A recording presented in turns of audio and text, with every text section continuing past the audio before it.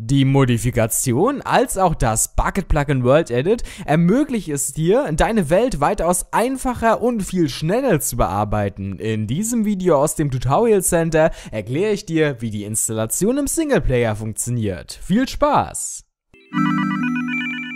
Hey und willkommen zur Bilderwoche hier im Tutorial Center. Um dir World Edit im Singleplayer zu installieren, besuche diese Seite von World Edit, scrolle herunter bis zum Download-Bereich und klicke auf Download for Forge.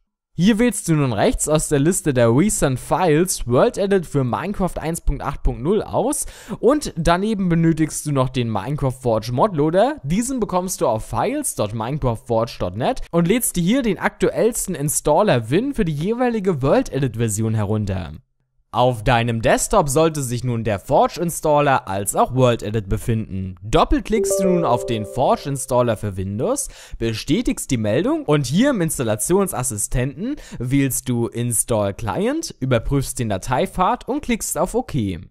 Wichtig ist, dass du die entsprechende Minecraft-Version schon mindestens einmal gestartet hast. Hat alles funktioniert? Dann bekommst du dies durch eine Bestätigungsmeldung mitgeteilt, die du bestätigst, öffnest nun deinen Minecraft-Launcher und sofern hier rechts noch nicht die Forge-Version steht, klicke auf Edit Profile und wähle sie aus der Versionsliste. Starte nun deinen Minecraft und warte das Setup von Forge ab.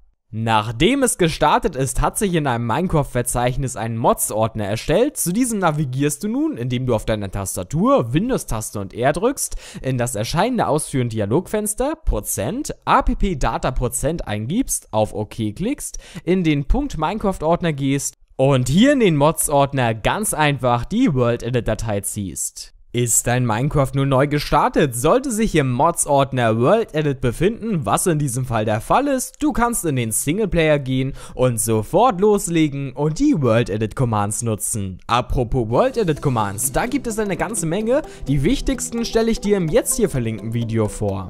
In der Tutorial Center Bilderwoche gibt es jeden Tag ein Video zum Thema Building in Minecraft. Diese Videos findest du auch kompakt zusammengefasst in einer Playlist als auch im Forum unter forum.tutorialcenter.tv.